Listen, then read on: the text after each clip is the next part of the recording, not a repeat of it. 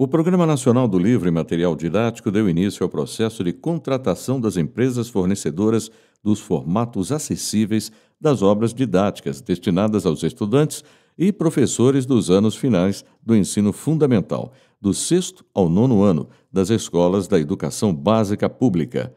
Os produtores habilitados e contratados vão fornecer as mesmas obras escolhidas por cada escola pública em formatos braille e publicações eletrônicas com interatividade.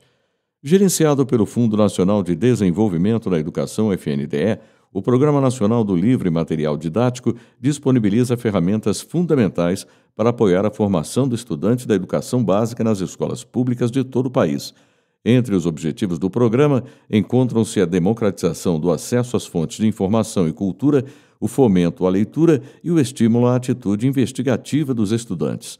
O programa garante que estudantes cegos, surdos cegos e com baixa visão matriculados em escolas públicas tenham pleno acesso ao conteúdo.